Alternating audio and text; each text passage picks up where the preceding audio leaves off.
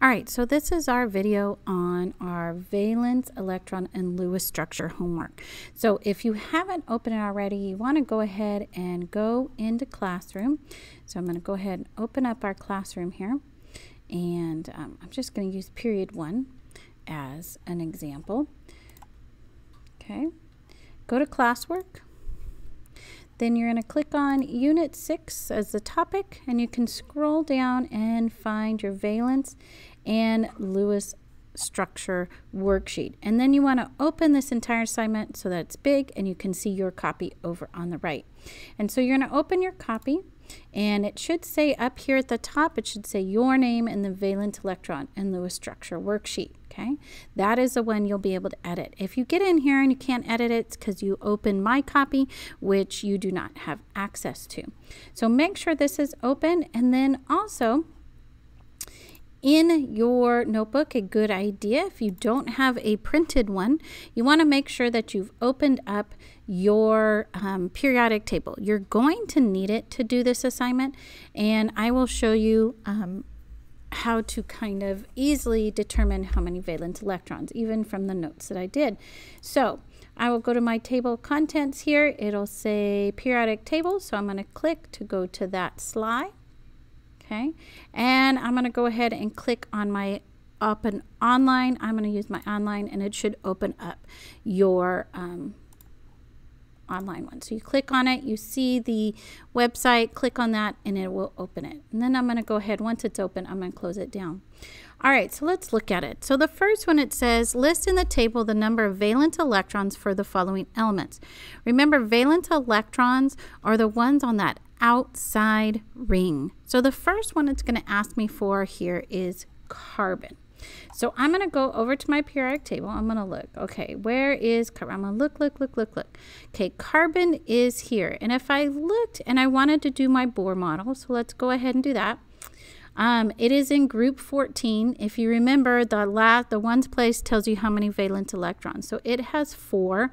But let's say I'm not quite good at memorizing that, so I'm going to figure that out. So I'm going to look at carbon.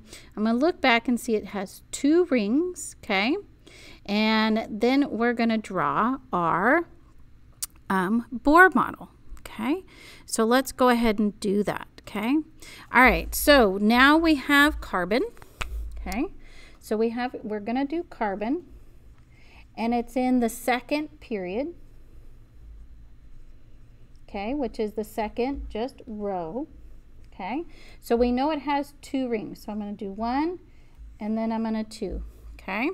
And since it has two, I know that first one has to be full, right? So a full first ring has two electrons, so I'll put that on there. Then I'll go back to my periodic table, okay?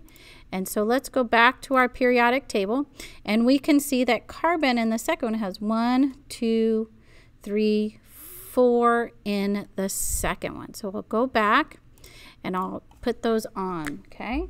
So I'll go one, two, three, and four. So then I want to know how many valence electrons it has, right?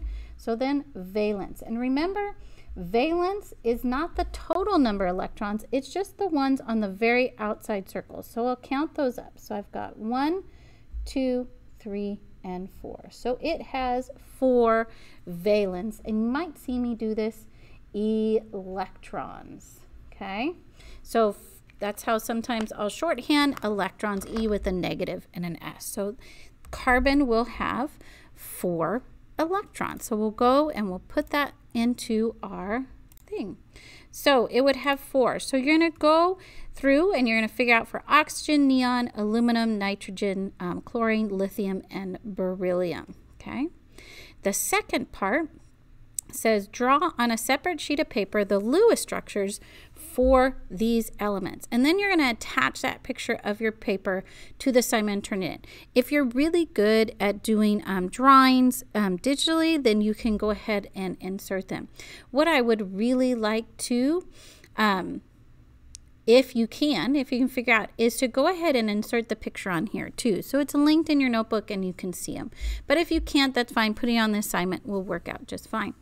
All right, so The first one we're going to look at, and I'll do for you, is going to be sodium. So we're going to go look at sodium and we're going to do the Lewis structures. And remember, we're talking about valence electrons. We're only talking about the ones on the outside ring, okay? Okay, so we're going to look at sodium okay? Right? That's what I'm looking at, sodium.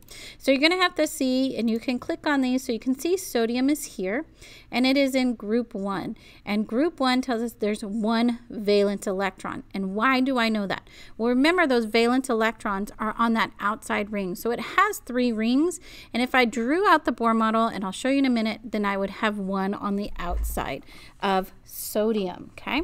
So let's go and see how that works really quick. Okay. All right. So now we're looking at sodium, which if you found it on the periodic table, it's Na. Okay. It's in the third period or row. So it has three rings. And for it to fill up that third ring, you know that these uh, first two have to be full. So I'll put two, and then I know this one has eight because all the rest of them after that first ring have eight. And when I looked at sodium, it only had one. So it had one valence electron. So that's what we're talking about. So if I'm going to write the Lewis structure, the first thing I'm going to do is I'm going to write the symbol, which is Na, okay? And then I'm going to put my valence electrons on there for my Lewis, and it just has one. I always start at the top. I go north and then go counterclockwise and then fill up with two, but it only has one. So there's sodium. This is the Lewis structure for sodium. That's it. Okay, so that should be what's on your paper okay? And so now what I want you to do is I want you to go back and I want you to do magnesium, boron, silicon, phosphorus, sulfur, fluorine, and helium. If you guys have any questions, please let me know.